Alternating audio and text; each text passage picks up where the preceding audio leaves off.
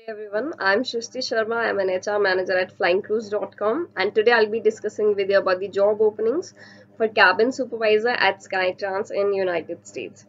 Skytrans values employees and is committed to creating a positive, safe, enjoyable work environment along with offering future opportunities for personal and professional growth.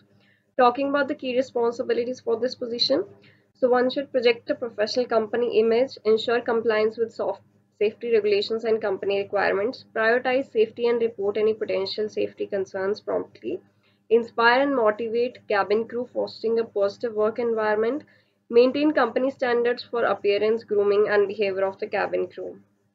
Talking about the minimum requirements, previous experience in the aviation industry on a similar aircraft type as cabin supervisor, two year of experience as operational cabin crew on the Airbus or similar aircraft, Successful completion of cabin crew supervisor course and line check must be 18 years old or older. Fluency in English, ability to swim in clothing for 50 meters tread water for 3 minutes, excellent health and fitness, normal ear, nose and throat function. This is all about it and for more details I would suggest you to visit the official website. Thank you so much for your time.